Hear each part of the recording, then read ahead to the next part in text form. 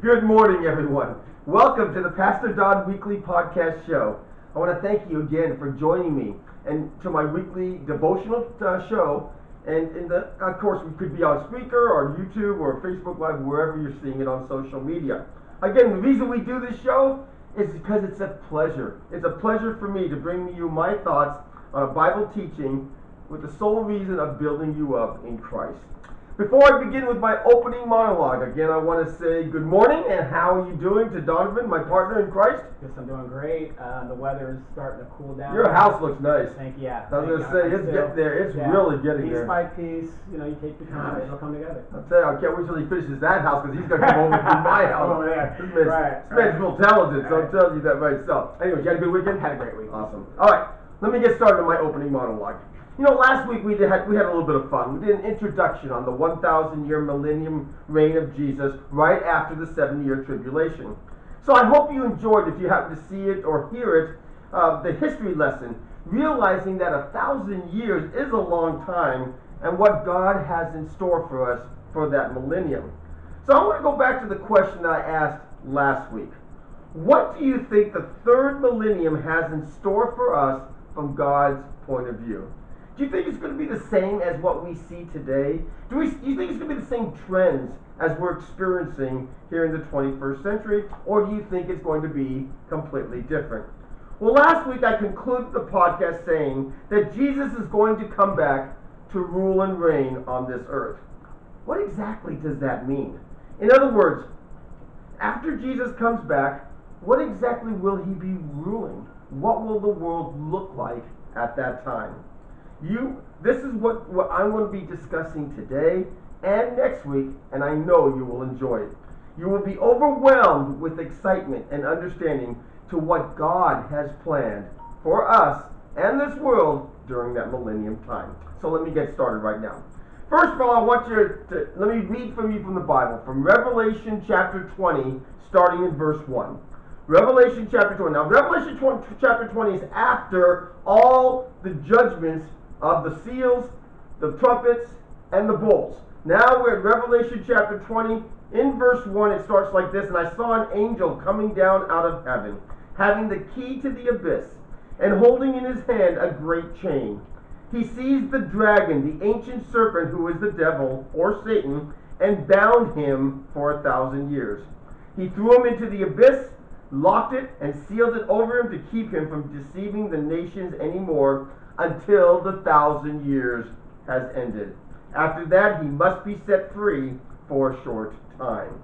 So, the first thing that we know for sure about the millennium is that Satan will be bound. And every time I think about that, Satan will be bound, it puts a smile on my face. Let me ask Donovan a question. I know the answer already. I'm not sure why I'm asking him that.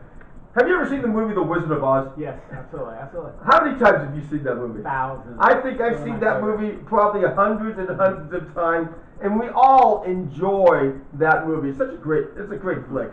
But you know, most of you know the story. Dorothy and her little dog Toto skipping down that yellow brick road to going to see the wizard, and then they encounter the Tin Man with no heart, the Lion with no courage, and the Scarecrow with no brain. You know, it's always funny. Every time I do something dumb at my house, my wife usually calls me either the Tin Man, the Yeah. Scarecrow, or the Lion. One of those things I've been called many, many times. But let me ask you this. When you watch that movie, I know you may not remember this, Donovan, but when you watched that movie the very first time, how many of us cheered from our seats when you saw the Wicked Witch die? Yeah, I remember cheering and being. I was gonna happy. say you're just Yeah. excited. You may not have cheered, but you're excited because Yeah. that finally that wicked witch did. And then of course you go to that song that goes ding dong, the witch is dead, the Right. witch is dead, the Right. witch is dead. You know, ding dong, the wicked witch is dead. Well, you know that's the kind of the similar feeling that I think we will have during the time of the millennium. The dragon, much worse than the wicked witch, Satan, is not literally dead because he will be free after a thousand years, but he will be removed by God from this earth for the entire millennium time period. That's right there enough to say, get him out, mm-hmm. praise the Lord. So Satan, this great accuser, the spiritual power that opposes God and stands as an enemy to God and his people will be seized by a mighty angel of the Lord and thrown into the abyss. An abyss, what is that? It is some it is a uh, defined as a chasm that is so deep that the end is not visible. In other words, most people call the abyss a bottomless pit. Satan will be bound, the abyss will be locked by chain, and there will be no escape. Wow, can you even imagine that? Wow, that's that's that's crazy. The accuser that influences wars and killing, influences evil and chaos, causes pain and suffering, will no longer be an influence on this earth for the a thousand years.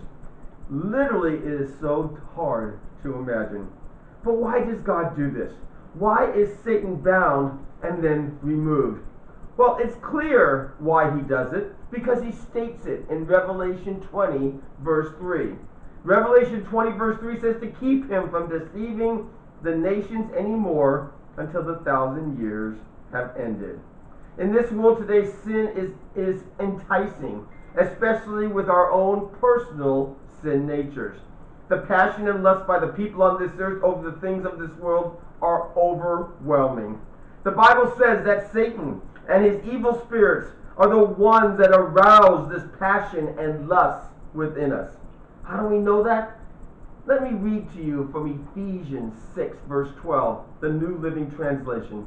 Ephesians 6:12 from the New Living Translation says this, "For we are not fighting against flesh and blood enemies, but against the evil rulers and authorities of the unseen world, against mighty powers in this dark world, and against evil spirits in the heavenly places." Folks, it is Satan that pushes our sinful natures to lust after worldly things over God. It is Satan that pushes our sinful natures to lust after power and fame over surrendering each day to the Lord. And it is Satan that pushes our sinful natures to lust after sin instead of living in the holiness of God. And if it is our sinful natures that take over when temptations act in within ourselves that causes us to sin. But now we learn in the millennium we will not have this devil influence in this world. Man will live in a society on earth never seen in the history of the world, not even in the Garden of Eden. No more Satan, no more of his evil angels, no more demons, no more sinful influences against God. That's what the millennium is going to be like. Can you even imagine that? Nope. I can't. I can't even, but I'm looking forward to it. The second thing, excuse me, the second thing we know about the millennium is this Jesus will reign as king. Let me summarize all this for you to this point. Back in Genesis chapter 1, God created the heavens and the earth, as we all know. And it was absolutely perfect, and it was a beautiful environment. It was called the Garden of Eden. Excuse me. And God provided everything for man. There was no disease, no evil, no smog, and no pain. All Adam had to do was be obedient to God's commands. Then in Genesis 3, the serpent, also known as the devil, deceived Adam and Eve, and sin entered into the world. In other words, at this point, God's perfect creation, perfect environment was now flawed when sin entered into this earth. It was no longer perfect. And since God is perfect, he cannot face sin. So then Satan became ruler of this earth and God of this world. And Satan has been in control since Genesis 3 all the way up till today. That's why we have so much evil in this world. But something happened 2,000 years ago. Jesus came down from heaven onto earth in human flesh and died a horrible death on the cross. Now, that part of it is not the awesome part. What is awesome is that in three days, Jesus miraculously resurrected from the dead and completely restored the relationship of God with mankind for those who surrender their lives to the Lord for the forgiveness of sins. This one amazing act of love by Jesus justified God's anger against man's sin, and redeemed our relationship with the Lord. In other words, Jesus won planet Earth that was lost by Adam and Eve at the cross. He won it at the cross what Adam and Eve lost in the Garden of Eden. Satan, the ruler of this age, and his demon angels did not realize any of this until it was too late. Think about it from Satan's point of view. When he saw Christ on that cross, he thought he won. Right, right. He thought everything was over, over, right. God was dead, and now he can rule and reign, not realizing the plan that God had for mankind. How do we know this? 1 Corinthians 2 8. Amazing verse if you've never read it. 1 Corinthians 2 8 says this. Listen to this, Donovan. None of the rulers of this age understood it, for if they had, they would have not crucified the Lord Yes. of glory. If Satan would have known, he would have done everything to stop the crucifixion. But now that he didn't, the Lord reigns again on this earth. Excuse me. But instead of Jesus claiming his rightful ownership of planet Earth back then, he ascended back to heaven after 40 days after his resurrection and is seated today at the right hand of the Father for the past 2,000 years. You might be thinking to yourself, well, why did Jesus do that? Why would God wait so long to claim now what is rightfully his? Jesus won. He won at the cross. Why is God waiting so many years to claim what he's already accomplished? And you know what the easy answer to that is, Donovan? God loves you and me Mm. that much. Think about it. God wanted as many people as possible to repent and surrender to Him in order to be able to live with God for eternity. Think about if God didn't do this. If God did, do not, did not do this, then you and I may never have been saved. That's what mm. 2 Peter 3 mm-hmm. 9 is all about. 2 Peter 3 9 says, The Lord is not slow in keeping his promise, as some understand slowness. He is patient with you, not wanting anyone to perish, but everyone to come to repentance. I've always asked this question why this world is so horrible? Why are we not raptured yet? Mhm. Because there may be one more person Right. that wants to come to repentance, and God will wait for that one last person. And I'm going to tell you this, folks. I am so grateful that God has waited this long, or as I forme- forme- aforementioned, Donovan and I may not have been saved for eternity. Folks, God is patient, waiting for all who desire to surrender to Him to be to be found and saved and able to be in heaven with the Lord. And that includes your unsaved family members and my unsaved friends and family members as well. Now, next week, we're going to take a look at how life will be like during the millennium for not only the world, but for you and us. Because a lot of people ask me that question, Don, what am I going to be doing in the millennium for a thousand years? I mean, am I going to be working at a factory? Am I going to be uh, tilling the grounds? What is God's plan for us, His church, during the millennium? Well, guess what? We're going to talk a little bit about that next week, so you definitely do not want to miss that podcast. And trust me, it is going to be different than what you might expect because of what you experience here in this world today. So, you don't want to miss next week, but let's go to God in prayer. Dear Heavenly Father, Lord, again, we thank you so much for your word. It is hard for us to imagine how life will be like in the millennium period. It is hard for us to imagine what life will be like with Satan bound with his demons. And it's also very hard for us to imagine how it would be like with you ruling down here in the flesh. But Lord, we know that it's all true because your word is true. So we trust you in all things. Lord, we don't need to understand it all. We need to completely trust you and live each day for you. So, Lord, we thank you for all the countless blessings that you have provided for us. We honor and praise you and give you glory. In the name of Jesus we pray. Amen. Amen. Well, I sure hope you enjoyed my opening monologue today on the first half of the millennium from the book of Revelation, especially from God's point of view. As I mentioned, next week we will continue a more detailed look at this thousand year millennium reign of Jesus on this earth. And from a born again Christian point of view, it is truly amazing. We will be in our glorified bodies with no more tears and no more pain. You can't even imagine that in Right. today's world. Right. And we will be with Jesus serving Him. Again, I want to thank all of you for uh, checking out, following, and then, of course, sharing my Reflections Ministry Facebook page. It's literally exploding.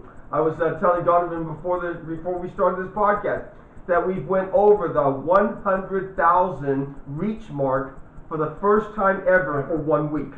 Over 100,000. Never had that happen. We started with about 10. I think they were all Donovan's relatives. I think that's all we ever had. Yeah. My relatives wouldn't even watch the show right. or they wouldn't listen.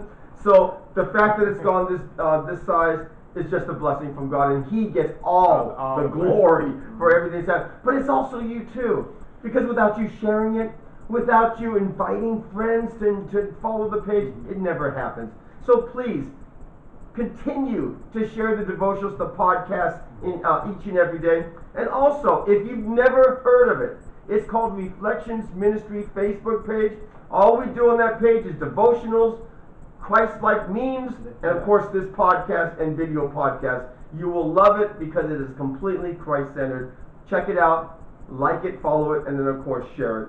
We, I want to thank you so much for listening to my opening monologue, and may God bless you.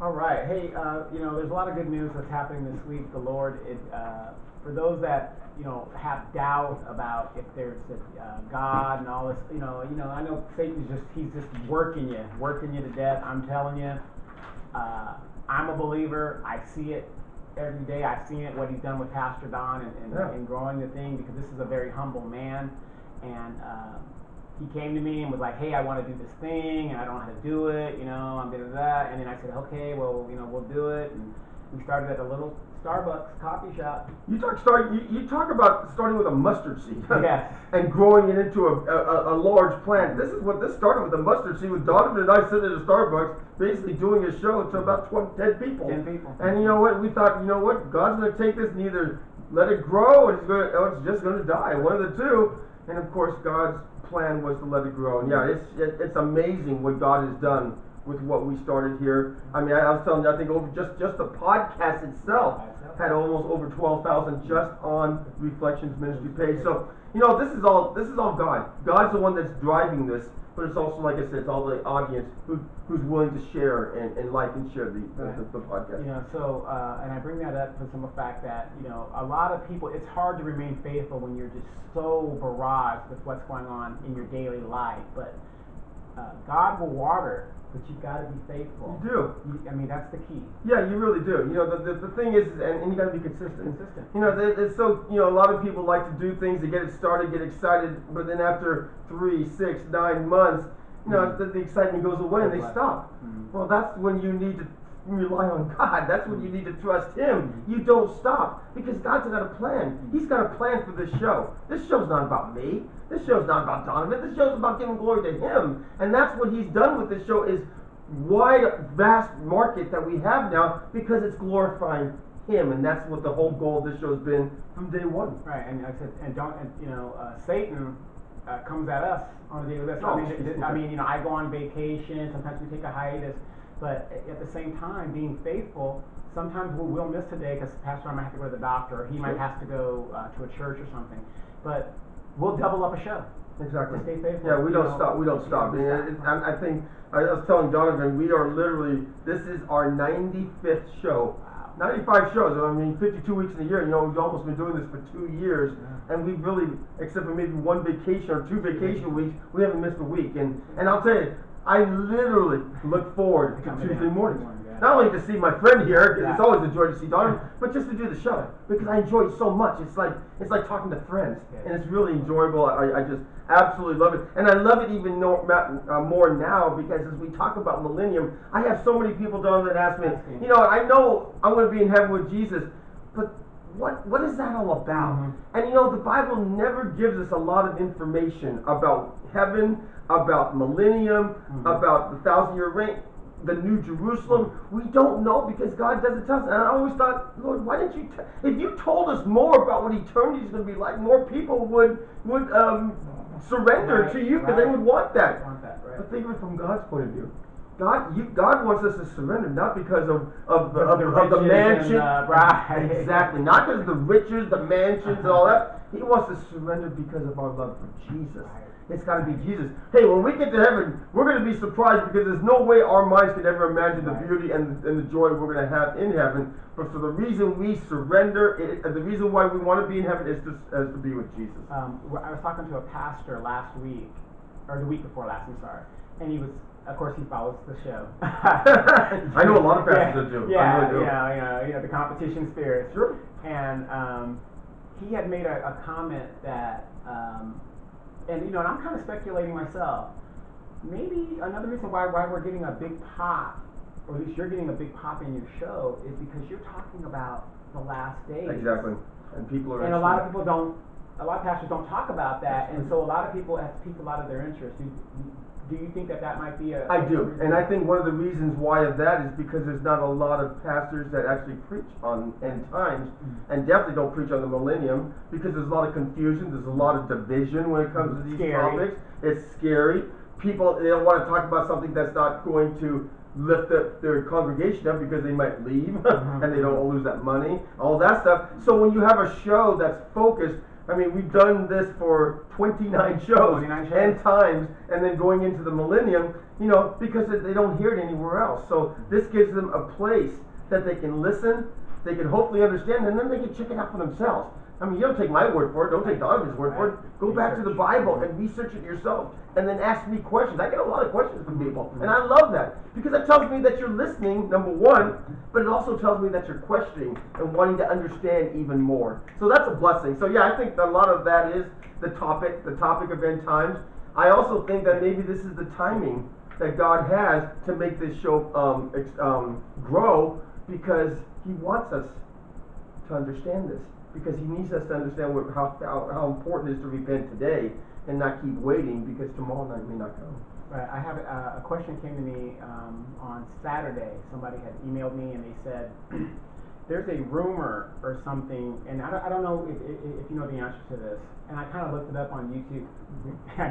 Don't Google everything, all answers on Google, but I looked it up, and I, and I saw some, uh, videos and I saw some, uh, information where they were saying that, uh, there's a theory that Jesus and Satan are brothers. Oh. Ha- Have you heard that? Well, that's, yeah, that's the, w- one of the religions Mhm. believes that Satan is I, I think, I think Mormons. There's the Mormon religion that believes that they basically are both from God Mhm. and that they were uh, and they're and that they're um, brothers.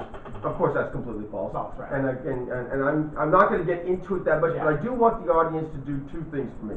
I want you to open your Bibles when you can to Isaiah chapter 14, and then after you read Isaiah chapter 14, get over to Ezekiel and read Ezekiel chapter 28.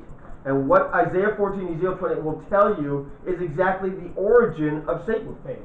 He is not a God. He is never going to be a God. He is not omnipresent. He's not omniscient. He's not om- omnipotent. He is nothing like God. He is a angel of God. Now he was a powerful angel, Powerful angel. probably one of the most powerful, beautiful angels God ever created.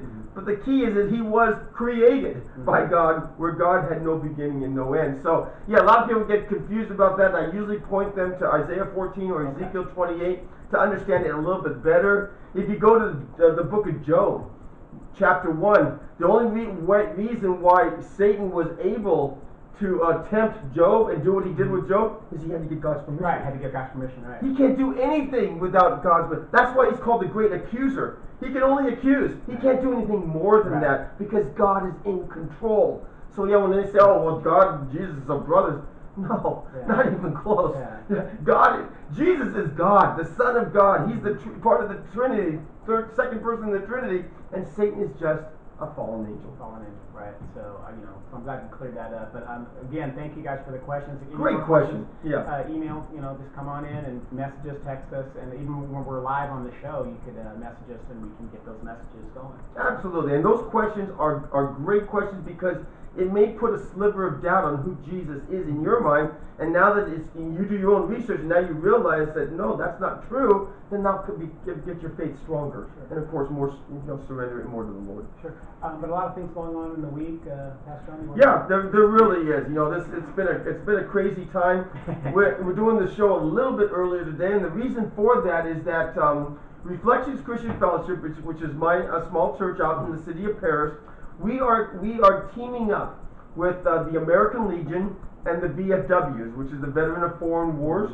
uh, in the city of Perris because what we're going to do is we're going to have a day of celebration. We are going to celebrate God first.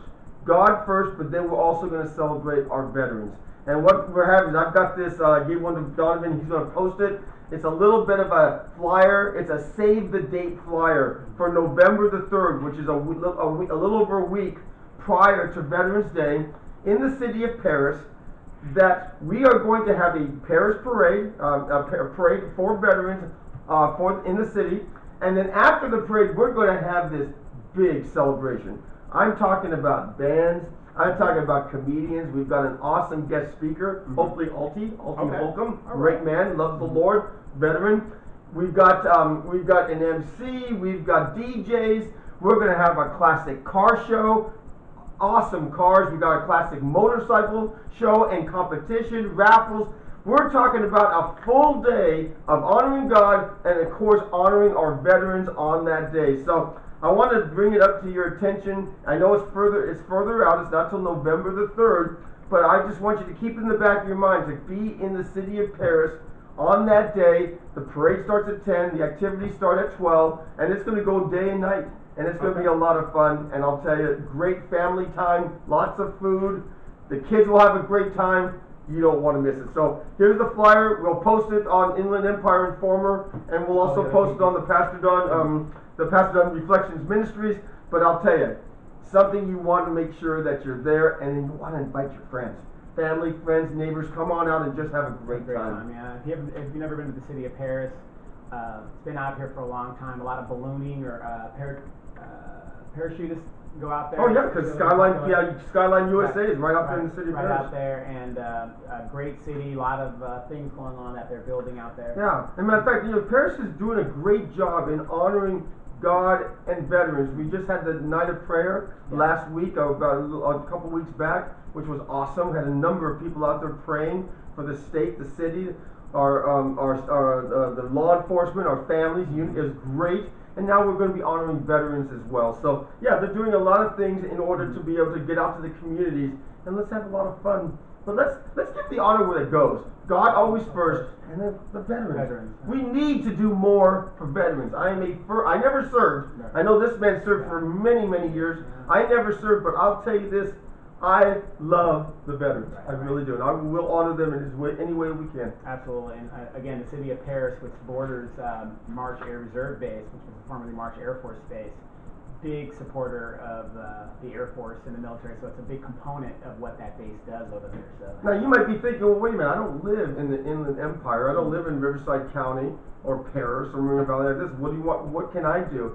Well, what you can do is you could post it on your particular page because I know that you know people that live in this Inland Empire area to just get the word out. You know, if you know, you know, family members, friends, or anybody that lives anywhere within a 15, 20 mile radius of Moreno Valley and Perris, let them know about that. Let them share with their friends that live in this Everybody knows somebody. And I'm telling you, if the more that we share it, the more we get it out, the more opportunity they'll have to be able to come, enjoy, and then, like I said, honor God and. Absolutely. You know, um, and just, just a, a, a, quick tip it's a classic car show and a classic motorcycle show.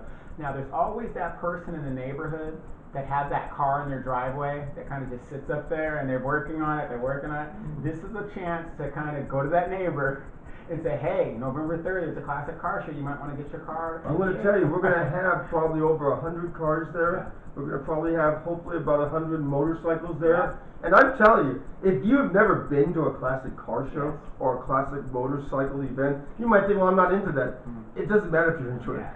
These cars are amazing. Yes. I you know it's funny. I'm not a huge car guy. I like cars because it gets me where I gotta go. Mm-hmm. But I've never been. But I actually had a classic car. I don't know if you know this. I actually had a classic car. I had a 1965 Mustang. Oh, Mustang. That was, a, that was my classic car. Yeah, I only had 60,000 miles on. It. So I did have a classic car. Oh, wow. But I'll tell you, you go to these places, you will totally enjoy. Yes. Just just seeing the different varieties mm-hmm. of lowrider cars to the Mustang clubs mm-hmm. to these other types of vehicles, these old 1930s and 40s vehicles that are completely restored. They're, it's awesome. So again, something you don't want to miss if you've yeah, never seen um, it. And again, for the uh, I'm not a car guy too, but my brother is. He's in the classic cars.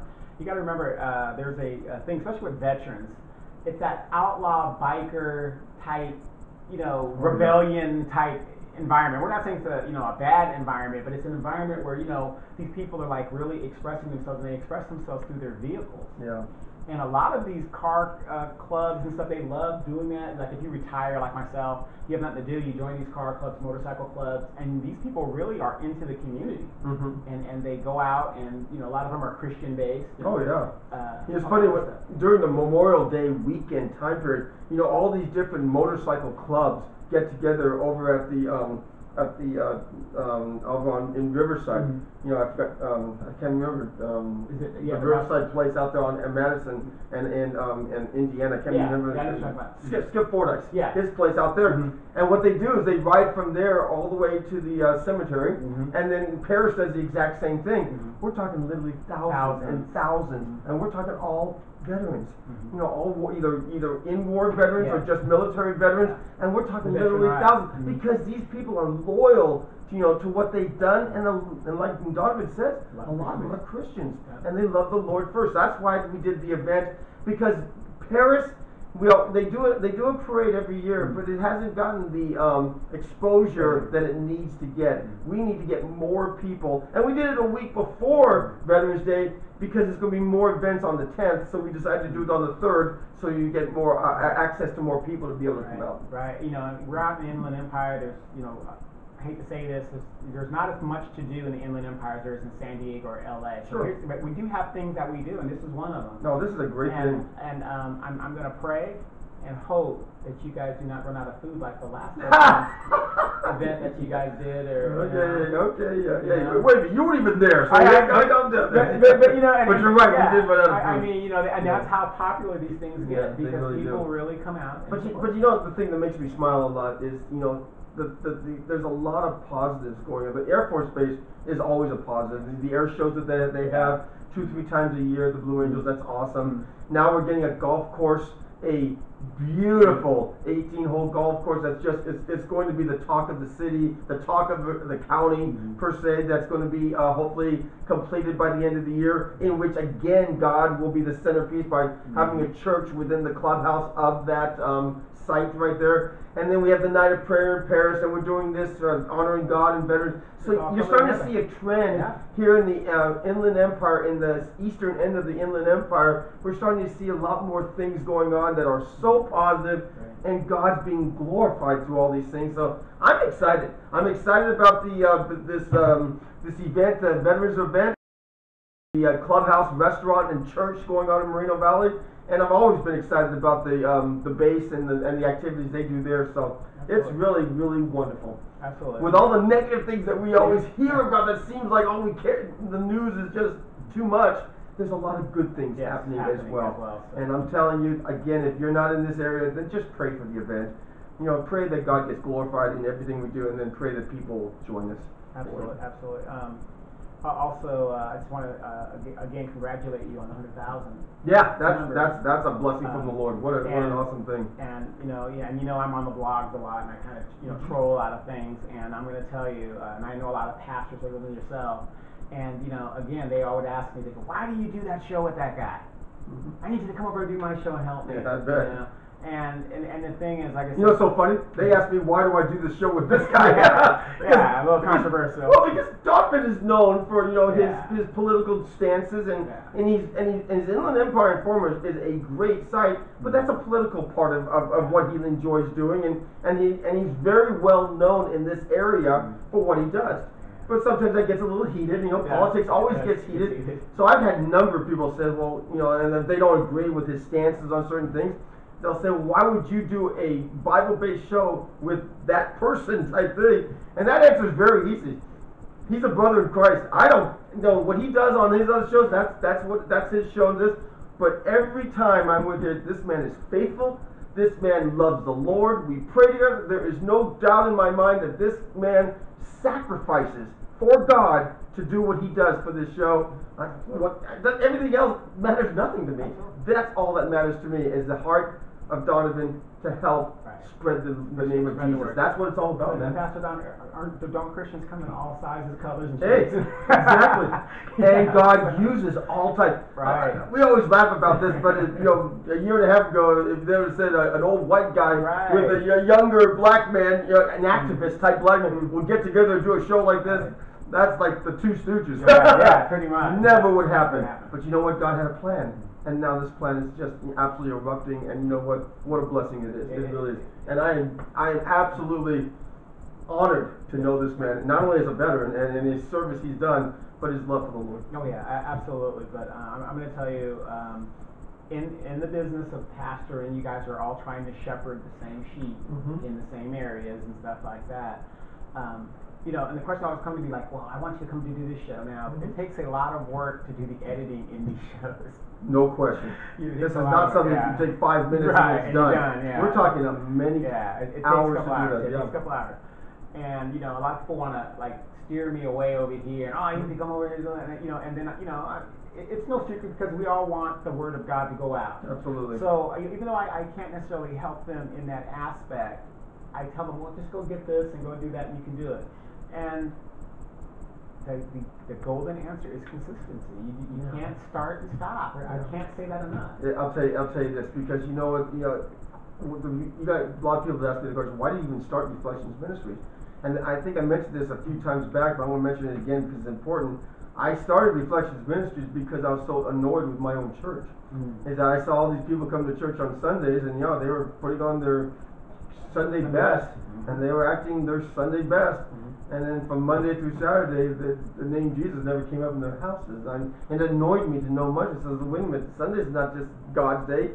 Every day is God's day. Day. So I say, okay, what I'm going to do is I'm going to do a daily devotional. At least they're going to get a little piece of Jesus each and every day. And that's what got me started on it. Mm-hmm. Because I was so annoyed that people only talked about Jesus on Sundays. And after that, okay, I did the God thing. Now I can do my thing from Monday to Saturday. Seriously?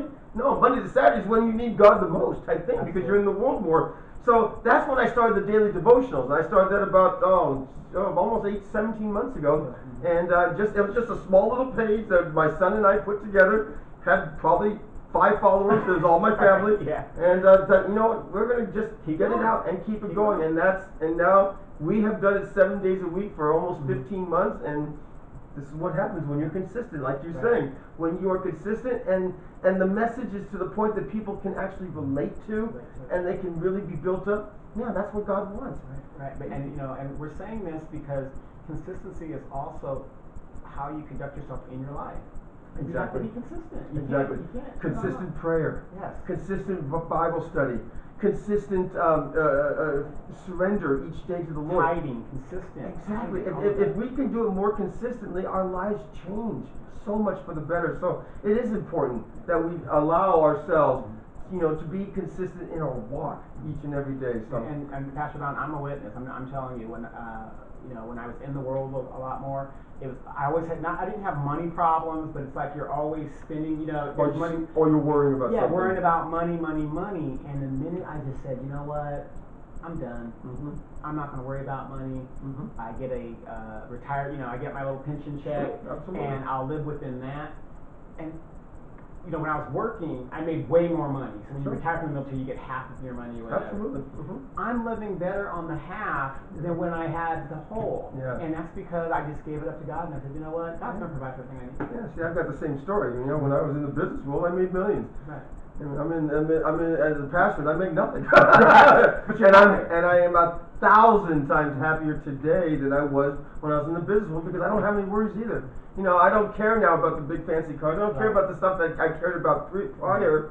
All I care now about is just doing the work of God, and God provides, Mhm. and He does. He provides. He always provides. you. It's just so crazy, especially in my little church in Perris. I mean, Perris is probably a, you know is not the most um, you know high rent area. You know, Mhm. there's you know there's a lot of Yeah. people in Perris that are struggling a lot. So our church is struggling at times financially, and I cannot tell you in ten different occasions how God has come through Mm-hmm. when we didn't know where, where we were gonna get finances to pay the bills that we had. And it always happens, every single month, it's like, wow, it's a God thing. Yeah. And I never had to worry about it, because we knew that God would provide, yeah, and He does, and it can provide for you, as long as you take the worries away from yourself and the world, and put it on God, it on let God. Him do it, Mhm. and He will, because He's faithful. Right, He is um, faithful. And you know, um, you know, I, I- and uh, I'm going to tell you for this man, I know he has a nice church, nice sized church, and everything like that. But the joy that he gets when he, because he's a numbers guy, he sees those numbers of that message, and a lot of pastors are like that. It's about the message and getting that word of God out, Mhm. and you- you're getting your word out what six, seven times more than your congregation in church. I mean, people Exactly. wise, and and that's uh, Exactly, because a lot of people say, oh, oh, the reason why you like numbers is because you're probably getting advertising money, or you're probably getting something Uh-huh. from that site to get. That's why you want the numbers so we much. could do that, and and, and, we could, I but we could don't. make, it's Yeah. funny. I've had people approach me that want to advertise and get. Yeah. They'll give me 10, 5, 10 cents a click. Yeah. But it- Yeah. no, Uh, we don't. We're not. it has nothing to do with that. I don't have any interest in that. I have only an interest in spreading the word of God. You know, and that's and that's it. Now, but there, now the only way that I would think about that is if the money went to a cause, Right. something that's going to help children or help areas that are really in need. As long as it doesn't come to me, then I'm then then I might be okay with that. But you know, these other pastors, yeah, they want to maybe raise more money or put a donate thing, Right. a button on there so you get. more- No, no, because it, it, it, it takes you away from what the real purpose is in spreading Jesus and the light of Jesus to people, and it just kind of waters it down. Yeah. Because now, where's your motive? Is it really in Christ, or is it more money type Yeah. thing? So, yeah, all, all I can say is I I can't tell you how blessed I am for this show. I'm blessed to know this man. I'm blessed for the what he does to produce and edit this show. But I'm also blessed for you, the audience. Right. We're just we're doing this to our family if it wasn't for you. So I mean, I can't thank you guys enough for sharing, you know, following and enjoying what, what we're doing here because like I said, without you there's nothing. Yeah, uh, last question and uh, last parallel. Um, as many times as we both get thrown in the Facebook jail, sometimes I feel like I feel like uh, John the Baptist. Or, All the time. You know, you know, like you're getting persecuted because we're we're putting this positive word out, and they just keep hitting us, hitting us, hitting, but we don't stop. Yeah, you know, it's so funny. I, I, I can tell you this one quick story, and I knew I was going to put in Facebook jail, but at this point, I, did a story on. I did a I did a, a, a devotional on the devil, hmm. and I basically wrote in there, basically based on on Peter says resist the devil. So I did a picture saying resist the devil. It was a picture of resisting the devil. Well, Facebook thought I was part of the resistance and put me in Facebook jail. Right. And I and I wrote back. They said, "Well, send, if you don't agree with this, send a comment." Hmm. And I said, "Yeah, I wrote a biblical verse to Christian groups about resisting the devil, which is, in the Bible. That has nothing to do with the resistance Right. in the world type thing. Mm. And yet, for at least seven days, You were they put me in Facebook jail. So yeah, the world will always try." To limit what you're doing or stop if they Mm-hmm. can what you're doing, and you know what? That's fine. So I found other places that share it versus Yeah. mine because we're not going to stop. We're not going to stop, not because we're so egotistical and we think we want the numbers, but because this is what God wants us to do. He wants us to spread the word. We're not stopping. Or, or, or does God uh, like testing our faithfulness and saying, "Are you going to continue to do this, or are you going to, you know, cap out?" Are you just going to quit because it's so frustrating? Right. Yeah, he, yeah. God said, "Look, said, okay, what's going? What are you guys going to do?" And what we're going to do is we're going to wait the seven days, to figure out different Right. things, and then we're going to continue to go forward. There That's what we're going to do. So again, I just want to thank you, the audience, so much for everything you do for this show. Please continue. I've got a big meeting this Thursday. I was going to tell Donovan this. I'm meeting with uh, Eric, uh, who's the basically the Bridge um, um, representative from Bridge, who bought the um, clubhouse, the golf course, and the restaurant out there in uh, Eastern Moreno Valley. But I'm also going to be meeting with Mark Stevens, which is actually the the man who's responsible for building the golf course, built the architect. He's actually going to be the owner because you know right now Bridge is basically the bank, Bank. and and Diamond, which Mark runs, he's basically the one that's actually building all these things out there in that uh, area. Well, I'm going to hopefully be meeting with them this week to talk about the church, talk about details of the church, talk about um, contractual issues with the church. So I just ask you guys to pray that that meeting goes positive, that we agree on the things that are important, so that we can go forward and start, uh, you know, getting flyers out there and start, you know, telling the people about Mhm. the church and when it's going to start. So this meeting is extremely important. It's on Thursday, probably Thursday afternoon. And I also want to tell Donovan one more thing he may not know. There's a community meeting at the clubhouse this coming Thursday at six o'clock. Six o'clock. So if you live in the Moreno Valley area, especially in the Rancho Belago area, please come out to the community meeting in the clubhouse of the golf course, six PM this coming Thursday for about an hour, It'll be about an hour time. Okay, no problem at all. Anything else you got, my friend? Other than you guys stay, uh, un- under the, under wraps with the heat. We'll see you guys again next week. God bless you guys. You have a wonderful, wonderful week, and may the Lord richly bless you and your family. See you next week. Three plus two.